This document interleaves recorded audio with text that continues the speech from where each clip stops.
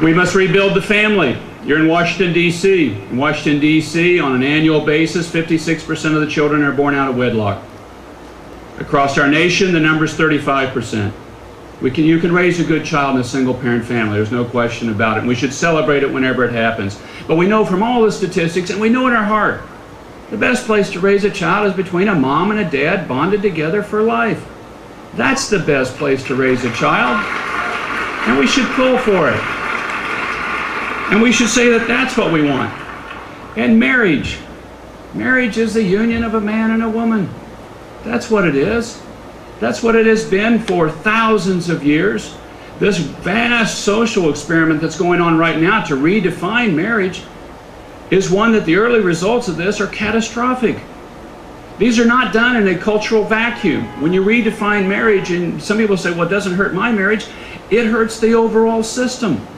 And look at countries that have redefined marriage.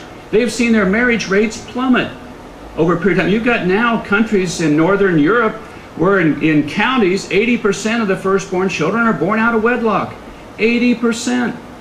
You take that sacredness of it out. You drive the marriage rates down, and then you have fewer children born into that best of settings rather than more. Is that the direction we want to go? It is not the direction we want to go. And yet it's a tough fight. And none of us want to come across as mean spirited or against anybody else, but this is for the future. This is for the culture. This is for the country. And we need to stand for marriage.